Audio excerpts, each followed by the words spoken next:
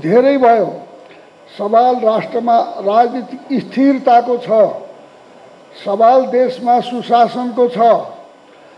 यो मुलुक रहने नरहने यो मुलुकको अर्थतन्त्र कसरी धानिएर अगाडि बढ्ने धेरै सवालहरूमा आज हामीले यो चाहिँ जो ब्युरोक्रेसी छ देशको यो थाई सरकारको ठुलो जिम्मेवारी हुन्छ। र आज हामीले मुलुकलाई सुशासन दिन सकेनौँ भने मुलुकलाई हामीले आर्थिक रूपमा बलियो बनाउन सक्दैनौँ विकास गर्न सक्दैनौँ विकास भएन भने मुलुक धान्न सक्दैनौँ। पहिलो कुरा त संविधान जो ल्याएका छौँ यसलाई कार्यान्वयनमा हामीले ल्याउनै पर्छ। व्यवस्थालाई पटक पटक बदलेर प्रयोगको थलो नेपाललाई बनाउन सकिन्न। यसलाई पहिले स्थिरता दिनु पर्यो। यो संविधानलाई कार्यान्वयनमा ल्याउनु पर्यो। कार्यान्वयनमा ल्याउँदा सबै वर्गको कर्मचारी वर्गदेखि लिएर सबै वर्गको हितको सुरक्षा हुने गरेर ल्याउनु पर्यो।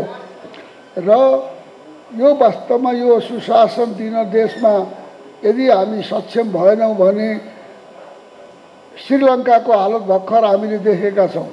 पपुलिस्ट कुराले मात्रै देश धानिन सक्दैन देश अगाडि बढ्न सक्दैन देश सञ्चालन गर्न देश धान्न देश चलाउन धेरै सोच सुझबुझको आवश्यकता पनि पर्छ।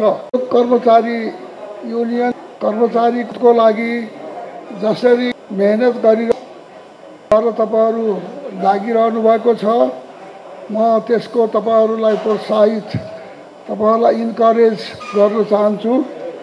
यो युनि यो चाहिँ नि निजामती यो चाहिँ नि ऐन चाहिँ चाँडै ल्याउनु पर्यो भनेर तपाईँहरूले अस्ति नैको सभामा पनि म थिएँ प्रधानमन्त्रीजीले कबुल गर्नुभएको थियो।